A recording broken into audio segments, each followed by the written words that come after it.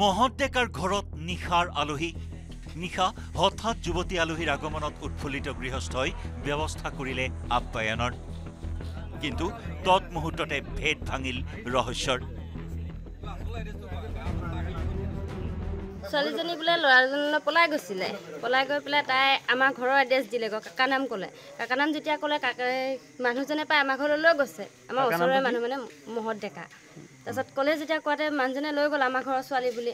মোক কৈছে আলহী আহিছে ভাত বনাম। মই ভাত বনাব গৈছোঁ আলহী আহিছে যেতিয়া। ক'ৰ ছোৱালী সুধিছোঁ? তেতিয়াহে কৈছে তাই গাঁওখনৰ নাম কৈছে।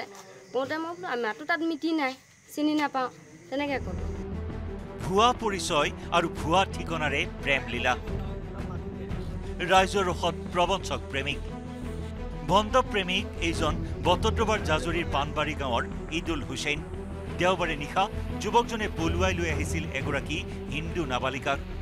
বিপদৰ আগজাননী পাই যুৱকজনে নাবালিকাগৰাকীৰ পৰিচয় দিছিল।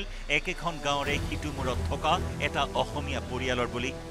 কিন্তু কিছু সময় পাছতেই হিন্দু নাবালিকাগৰাকীক নিবলৈ ঈদুল উপস্থিত হোৱাৰ পাছতে গাঁওখনত সৃষ্টি হ'ল উত্তপ্ত পৰিস্থিতিৰ।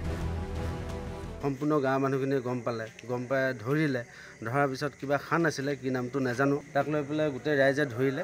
ধৰাৰ পিছত খবৰ দিলে আমাক খবৰ দিয়াৰ পিছত আমি আহি গোটেইখিনি পুলিচক যোগাযোগ কৰিলোঁ। যোগাযোগ কৰি ঘৰৰ লগতো যোগাযোগ কৰিছোঁ। তেখেতলোক আহিছে।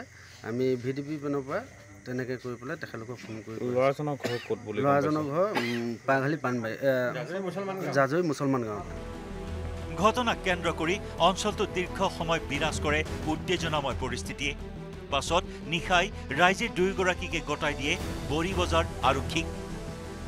বেবেজিয়াৰ পৰা ভাস্কৰ জ্যোতি শইকীয়াৰ report News Eighteen Assam North East.